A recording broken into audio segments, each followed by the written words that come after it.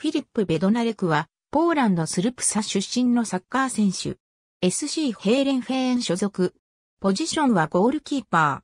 ー。サウサンプトン FC に所属する、ポーランド代表 DF ヤン・ベドナレクは実定である。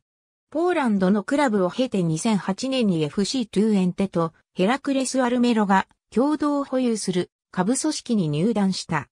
2012年12月6日、2012から13シーズンに開催された UEFA ヨーロッパリーグのヘルシンボリーフ戦でトゥエンテでのトップチームデビューを果たした。2015年7月5日、FC ユトレヒトと1年契約を結んだ。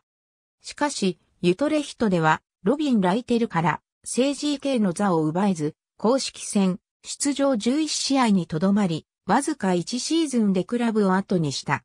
2016年7月20日、昨シーズン2部に降格したデフラーフスハップに2年契約でフリー移籍した。